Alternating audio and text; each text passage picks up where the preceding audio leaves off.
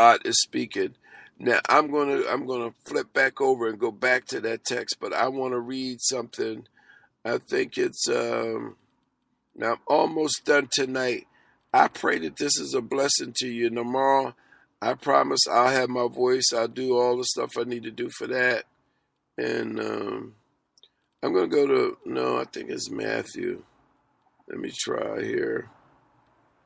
Uh, I'm looking younger today than I've ever been. Let's see here.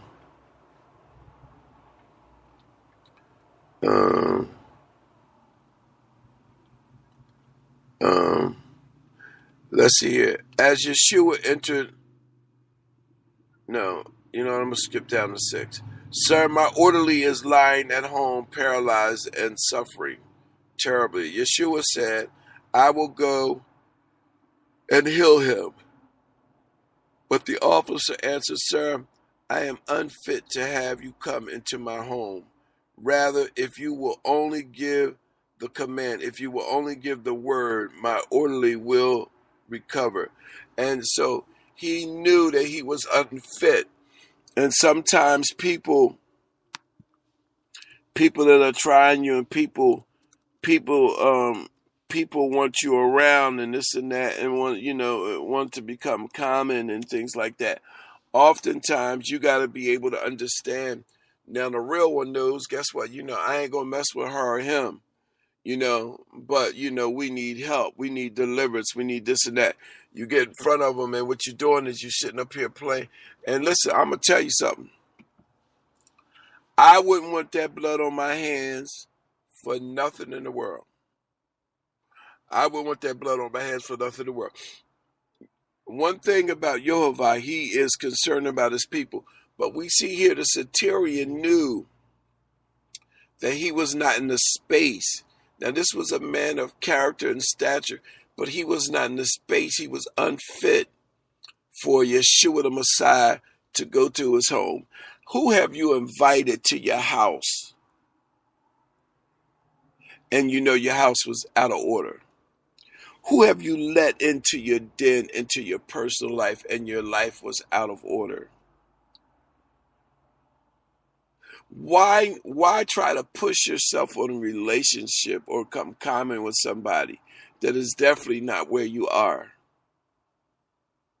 But the centurion here teaches us he was a wise man. He says, listen, he said, if you would just if you would just give the command, if you would just speak the word, I know that my servant will be healed. And that's what we need now. We need to teach you, and God needs to teach us, and we need to hear this that what? We learn what to speak. We need to learn what to speak.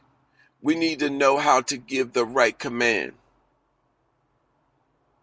You know, I'm I'm I'm I'm fascinated when I think about what God is doing in this space and in this time, you know, um, and how He's so strong on my mind right now. You know, I'm fascinated about it, but you know, um, I'm I'm I'm almost amazed that you know that just the way God is just saying, "Listen, son, I'm going to use you in this capacity, but listen, don't you ever do that again." Oh, yes, Lord. Now, what are you what are you talking about? He said, he said, listen, there's some places, there's some places that you can go, there's some places that you can't go. There's some conversations you can have, and then there's other conversations you better not have. But you just need to be around what? The spoken word. You need to be around something specific that God is saying to you, the individual. Now, listen, I know this doesn't just. I'm telling you right now that I don't know how long I'll talk about this because one, I was amazed that it, it that that God gave me the revelation that He spoke, that He appeared to Moses. Listen, y'all, out of a fiery, out of a flame of fire, He spoke, and the Bible says that he they heard he heard a voice but there was no I heard a voice he heard words the, the he heard the sound of the voice was words and there was no image And so, what we want to do is we want to focus on that. We want to think about this for the next couple days that I'm talking about this. Is that we want to, you know, what, what, what, what has you heard in the pure things of God, and you created an image, and your image is off. You need to kill that image. You know, why he was up and and and and God didn't show him an image he just seen the fire and he heard the voice and he heard the voice and the sound of words. The people of, of Israel that just got delivered from slavery and bondage, what were they doing? They were making another image, what they perceived to be like their God. They made they made a golden image. And that's what we do, or people do. Today they make bishops their image, they make pastors, they make apostles, they make men, women, boys, girls. Look, they can make a little small building an image. Their title, in most cases, their titles are even images. Even their titles, they get titles, and the title is an image to them. Oh, this is the image, you know, so you got to have this that goes with the image, and so on and so on. And it makes no sense other than nonsense. You know, you got, you know, I'm coming into uh into God's house and all I can think about is something that's wrong in the house. Now I don't have God. I didn't I didn't have God with me when I was outside the building. And you know I'm not having God in there with me while I'm in the building because everybody, 99.9% of the people in the building are just like her or him. You understand what I'm saying? Him and hawing about nothing that makes it makes sense, you know, talking about everything that is wrong. But there's a difference when we bring God's presence in a place. Now it's important that God has allowed you to go to this place. But it's important that we bring God's presence in the place. And that God will what? That God would be glorified. It's imperative that we understand. So, whatever the image is that you got up, I'm telling you, you need to destroy it. The people that I would come around, I don't come around anymore. The people that used to talk to me don't talk to me anymore. The people that used to uh, be on my side, they're not, they're not on my side anymore. They don't want to participate with the things that I do.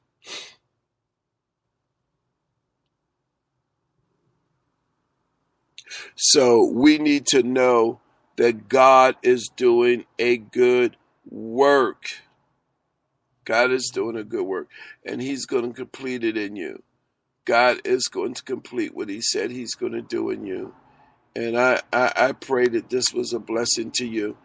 God just wants you to know that, listen, we have to learn how to speak.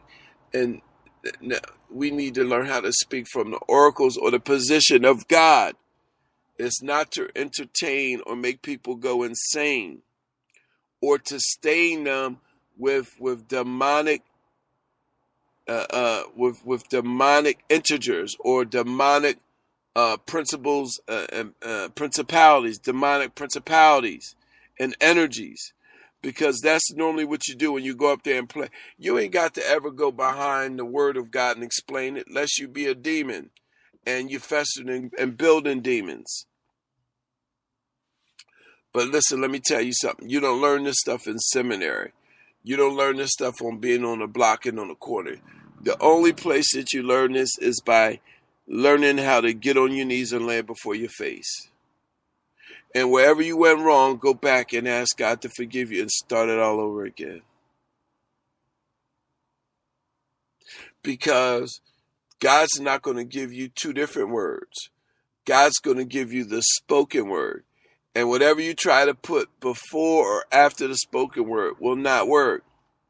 Why? Because in the beginning was the word, the word was with God, the word was God. See the thing about the word, when you become the when you become the image of just speak the word, you become that word.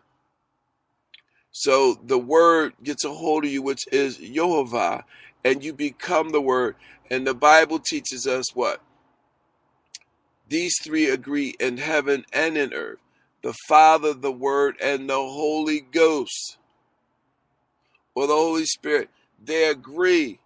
And so that's the uniqueness about the Word or becoming the Word or just speaking the Word without adding. You know, the cake requires just a stick of butter and uh, two eggs. You want to put a stick and a half of butter and you want to put three eggs. And so you overly uh, uh, uh, portionalize the ingredients and things to make this cake be the spectacular uh, or the ingredients of to get the same effect. Right now, in the Bible's teaching us the last days. Listen, I'm going to pour out my spirit upon all flesh, our sons and daughters, dream, dreams, and visions. Listen, you don't need to take nobody on no fun day. You need to teach them the word. You can tell when you're around people that don't know the word because all they do is look at you because guess what? They don't know nothing because nobody's teaching them the word. You can say whatever you want. And guess what? You can, just because you get up and speak doesn't mean that you teach. Just because you get up and preach doesn't mean that you teach. Just because you get up and speak and teach does not mean that you reach the people where they are. Now, look, that's enough for tonight. I pray that this makes you all whiter than snow. Father, I just give thy name praise and I give thy name glory and I give thy name honor. And I just thank you for your presence over the airway tonight, Lord. I thank you for this word, Lord. And right now, Lord, I pray for the supernatural move of God to reach every listener where they are, Lord. I pray that you, the word, would come alive, Lord. That the layer, your, the, a layer of you called the word, Lord, would cover their whole being in the mighty name of Yeshua, the Messiah, the Holy One. And I give thy name praise and I give thy name glory. Thank you, Lord. Glory. Oh, bless his name. Thank you, Lord. I pray, Lord God, that you would pour out your spirit like never before, Lord. Father, that you would begin to speak and have them speak the others over the airway, Lord. Bless those at the Way Nursing Center, Lord. Mother Spillman, every resident, Lord, that's connected with that organization and company. Lord, every resident, every staff member, in Jesus' mighty name. Glory. Mm. I pray, Lord God, that your freshness would move over this airway, Lord. And I give thy name praise and I give thy name glory. Establish your work, Lord.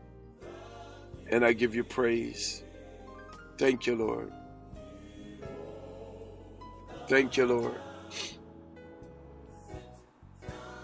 Thank you, Lord. Do it tonight, Lord. Do it tonight. Do it tonight, Lord. Be thou glorified tonight in the mighty name of Yeshua, the Messiah, the Holy One. And I give thy name praise and I give thy name glory. Thank you, Lord. Thank you, Lord.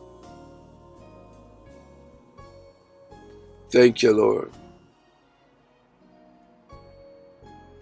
Thank you, Lord. Thank you, Lord. Thank you, Lord. Thank you, Lord.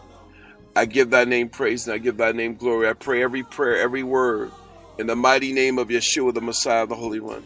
That is my prayer tonight. Amen and amen. Well, God bless you. That's it for tonight. Just speak the word. Just speak the word. Don't dress it up. Just give it plain so that people can receive the word. Give the word so that they can be received. Amen. And you that are out here and you're listening and you may not know the word, guess what? If you get quiet before God, God will teach you His word, and you will be able to speak the word, and people will be able to receive the word and work the word out. The word will work itself out, and that not just your life, but in their lives. Amen. In the mighty name of Yeshua, the Messiah, the Holy One. We thank God for that word. Thank you, Lord. Thank you, Lord. Thank you, Lord. Thank you, Lord. Thank you, Lord.